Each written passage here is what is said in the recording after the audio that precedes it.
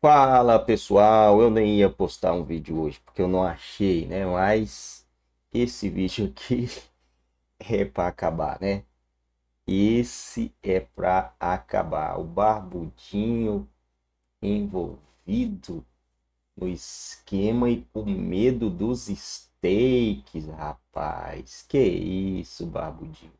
Essa, esses desvios aí de foco não funciona mais, né? Acusar alguém para tirar o seu rabinho não vai dar. A gente meio que imagina o que, que aconteceu aí. Se isso vir à tona, ah, vai dar ruim para muita gente. Se você ainda não é assinante do Revista Oeste e puder estar tá dando essa força para eles, chama lá no Zap o atendimento. É bem tranquilo e vamos para mais um vídeo. Deixa o seu like se ainda não é inscrito, botão aí abaixo escrito inscreva-se. Estamos de volta com mais Oeste Sem Filtro e a informação de que o Departamento de Justiça dos Estados Unidos solicitou informações à fabricante sueca de aviões Saab sobre a venda de 36 caças militares Gripen ao Brasil. O contrato foi fechado em 2014 durante o mandato da ex-presidente Dilma Rousseff por 4 bilhões e meio de dólares. A compra dos caças chegou a ser alvo de uma investigação da Polícia Federal por suspeita de tráfico de influência, envolvendo Lula e o filho Luiz Cláudio em um dos desdobramentos da Operação Zelotes. A ação penal, no entanto, foi trancada pelo então ministro do STF, Ricardo Lewandowski. Hoje, na entrevista que concedeu à rádio CBN de Fortaleza, da qual já mostramos alguns trechos aqui, Lula também comentou esse caso, foi questionado e acusou os Estados Unidos de interferência em uma decisão soberana do governo brasileiro. Vamos ver. Na verdade, eu não tenho, não tenho conhecimento eh, de como foi comprado o avião. O que eu sei, o que eu sei é que a companheira Dilma comprou um avião que era acho que mais econômico, me parece que mais barato e a manutenção custava menos. E é um avião de um conjunto de países, é um sueco que tem participação da Inglaterra, tem participação de vários outros países. E eu, sinceramente, acho que um pedido de informação dos Estados Unidos é intromissão dos Estados Unidos numa coisa de um outro país. É, é descabida essa informação, não sei qual é a informação que ele está pedindo. Também não quero, não quero fazer julgamento precipitado. Mas não tem sentido pedir informação de um avião que o Brasil comprou, pedir informação de um carro que um país comprou. Os americanos, na verdade, eles são meio hegemonistas. E aí, Alexandre Garcia, como interpreta, Alexandre, essa reação de Lula ao pedido de informações? Pois é, não é ele, não é só ele que não sabe, né? Ninguém sabe o que quer o Departamento de Estado saber.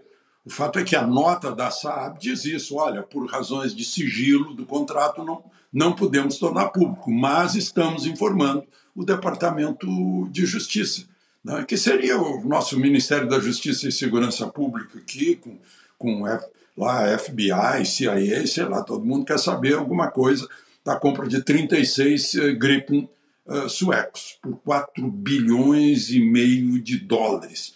É um dinheirão. Né? É, é um negócio em que uh, o, o, inquérito da Operação Zelotes diz que o filho de Lula, Luiz Cláudio, teria recebido uma propina de 2 milhões e meio, né? que significaria uma, uh, uma interferência de Lula no negócio para dar, dar para a Gripen. Uh, mas, enfim, o, ministro Lewandowski trancou, suspendeu tudo, alegando que são provas imprestáveis. Né? Depois ele virou ministro da Justiça, fez um rock com o ministro Dino. O ministro Dino foi. Agora, ele falou em Estados Unidos, tem lá no finzinho, parece que ele quis dizer tem pensamentos diabólicos, algo assim. Sei lá se não tem americano pensando nessa amizade toda de Lula e Celso Amorim com o Irã sabe lá onde vão parar os Gripen, né?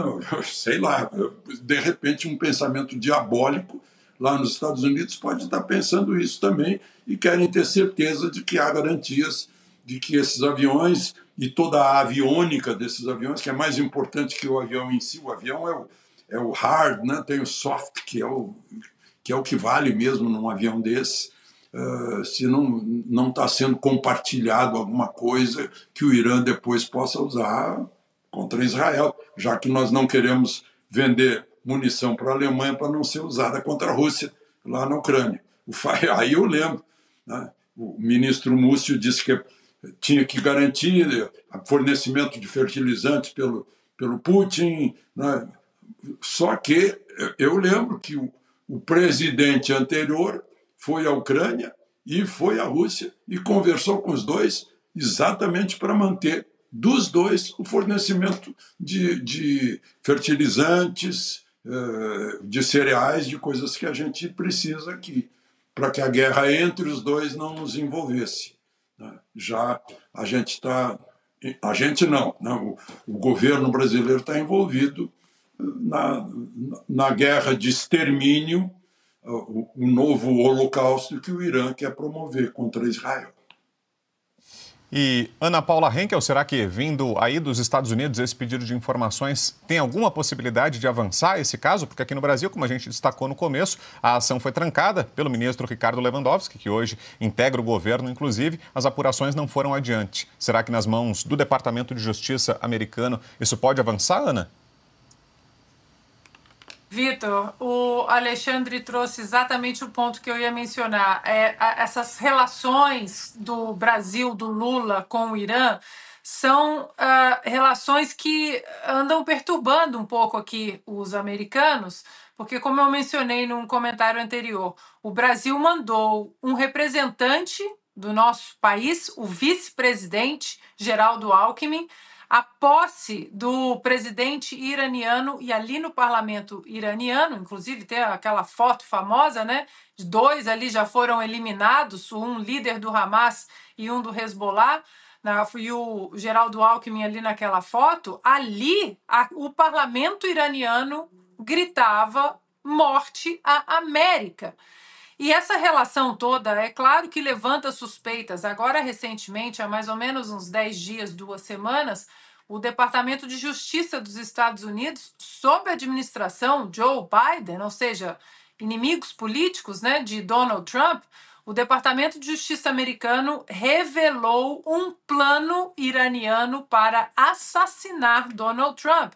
Houve uma longa coletiva de imprensa aqui do Departamento de Justiça e claro, Vitor, que tudo isso vai fazer o quebra-cabeça. Tá aí na nossa tela, né? O Brasil sendo representado ao lado do líder, um dos líderes dos Houthis, um dos líderes da Jihad Islâmica e o, o Nasrallah, que foi assassinado, né, do Hezbollah, o Hamas também, que foi assassinado duas horas depois dessa foto ser tirada, e o Brasil nessa foto com terroristas.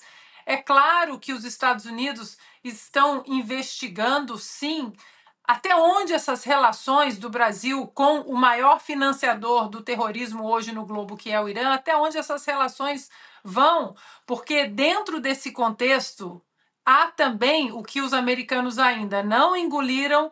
Os navios iranianos, os navios que são sancionados pelo governo dos Estados Unidos, os navios de guerra iranianos, que atracaram no porto do Rio de Janeiro em fevereiro do ano passado. Os, os americanos ainda estão muito interessados o que chegou uh, no Brasil dentro daqueles navios ou o que saiu do Brasil naqueles navios. Então, uh, Vitor, é, são preocupações relevantes, porque nós não estamos falando apenas de, apenas de intromissão de um país, né, os, os imperialistas, yankees, malvadões. Nós estamos falando de um país que se preocupa com o maior financiador, repito, de terrorismo hoje no mundo, que é o Irã, grande aliado de Luiz Inácio Lula da Silva. Oi, Piotr. Vamos só colocar em outros termos também. É, não, não são só os americanos que querem saber o que aconteceu na Operação Zelotes. Nós também. Aliás, nós estávamos neste caminho até que o ministro Lewandowski, Lewandowski foi lá e, e trancou a ação.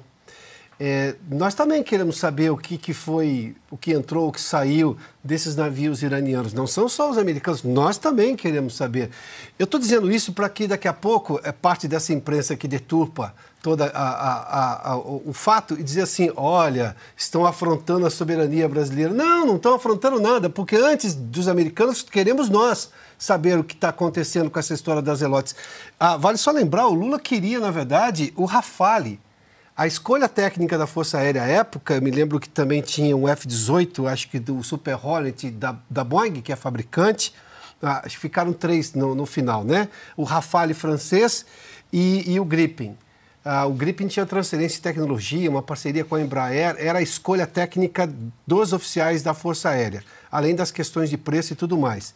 Mas é claro que os americanos vão querer saber por que que, uh, o que, que aconteceu mais, além da escolha técnica da Força Aérea, porque eles tinham um concorrente naquele momento. Mas se tem propina paga, bom, e aí mudou o jogo, o jogo ficou injusto. Mas nós também queremos saber se é dinheiro público. Esses 2 milhões e meio saíram da onde? Para pagar, supostamente, o filho do Lula. Agora a gente não sabe porque o ministro Lewandowski hoje, lá atrás, foi lá e trancou a ação, indicado pelo, pelo Lula, se não me engano, a, a ao, ao Supremo Tribunal Federal. É, então, antes que comecem com essa falácia de que, olha, de novo, os americanos estão querendo ofender a soberania brasileira. Não, não. É, nós queremos saber antes. Podemos contar para os americanos depois, mas esse é um interesse nacional dos brasileiros, antes de qualquer outro interesse. É que aqui, né, a, a, a, democracia do Supremo, da normalidade institucional, segundo o ministro Gilmar Mendes, não permite que uma ação como essa seja investigada de fato como pode ser investigada e deve, deveria ser investigada no país. Eu vou trazer um outro número, Augusto, sobre o Ministério da Defesa antes de te passar, que é o seguinte: o governo Lula liberou 80 milhões de reais à pasta ao Ministério da Defesa para a repatriação de brasileiros no Oriente Médio. Segundo um levantamento do site Poder 360, o custo poderia ser três vezes menor caso o governo optasse por pagar passagens comerciais para os 3 mil brasileiros que estão no Líbano. Com base no preço mínimo de R$ 7.200 encontrado para voos de Beirute a São Paulo, o valor seria de pouco mais de 21 milhões de reais. Mas até agora, 674 passageiros e 11 animais foram trazidos de volta em três voos de repatriação e a Força, Brasileira, Força Aérea Brasileira informou que a operação continuará. Ou seja, o governo está fazendo o caminho mais caro nessa operação, né, Augusto? Consegue isso. Evidentemente, alguém está ganhando dinheiro, né? Evidentemente, quer dizer, não é. Nós não somos suspeitos, nós não somos os que suspeitam profissionalmente das pessoas. Né? Nós somos os detetives profissionais. Nada disso. Nada disso. É só uma constatação. Você pode, como foi apurado facilmente, você pode gastar X, uma quantia X, para trazer os brasileiros. Você gasta bem mais. Por quê? Eles são incapazes de comparar preços. Eles não fazem isso. Se não fazem, Tá? São funcionários que não merecem, servidores públicos, que não merecem ficar uma hora a mais, uma hora a mais no cargo que ocupam.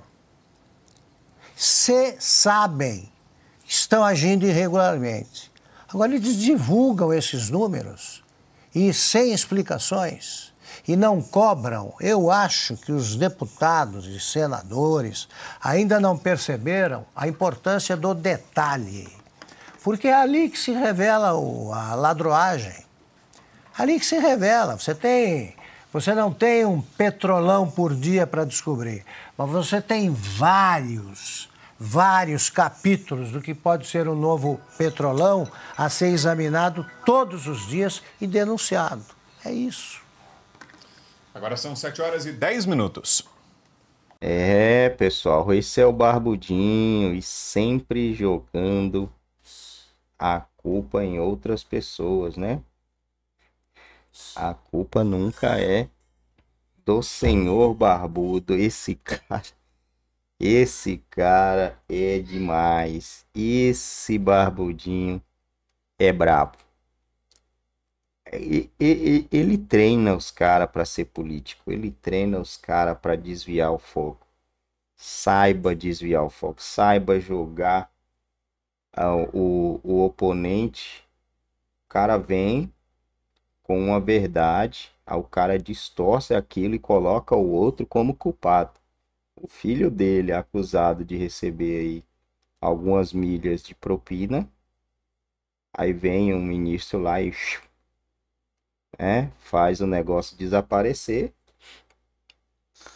Esse não é o amigo do amigo do meu pai, não, é outro, né? É faz o negócio desaparecer e o Barbudinho coloca a culpa nos Estados Unidos.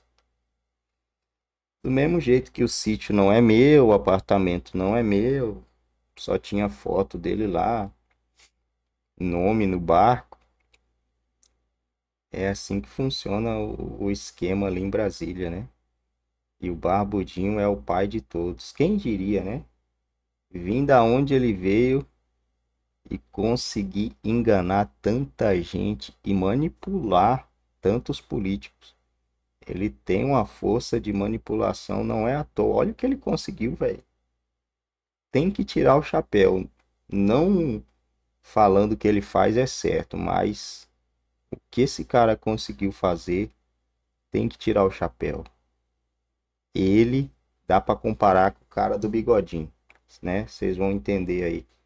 O cara do bigodinho. O cara do bigodinho também tinha esse mesmo estilo do barbudinho aí. Conseguiu manipular muita gente, conseguiu trazer muita gente pro lado dele. E no final ele fez o que fez. Arthur Lira diz aos ministros do STF que Câmara não vai retalhar a corte. Esse cara aqui é um canalha, né, velho? Não dá para entender isso. Gilmar Mendes diz que STF fez a política voltar a respirar áreas de normalidade. Quais são os áreas de normalidade? Porque não vi sair dessa normalidade, não. A normalidade deles é essa aqui, porque não, não tinha nenhuma ameaça. Eles ficam falando que tinha ameaça, que tinha ameaça, mas nunca teve ameaça. Né? Na verdade, a ameaça foram eles. Que proibiram um monte de gente de falar e de fazer várias coisas, né? Isso aí a gente não esquece. Está tudo na memória. Hoje, aliado de Bolos já se negou a elogiar Geraldo Alckmin, nem amarrado. Segundo turno em Aracaju, Emília Correia PL 51 das intenções, 51%. André Fernandes, PL, aparece à frente de Evandro Leitão, PT, em Fortaleza. Faz direita ganhando no Nordeste. Aí eu te pergunto, né? que, que aconteceu em 2022? O que, que aconteceu em 2022, cara? Faz sentido isso? Não faz, né? Deixa eu parar por aqui.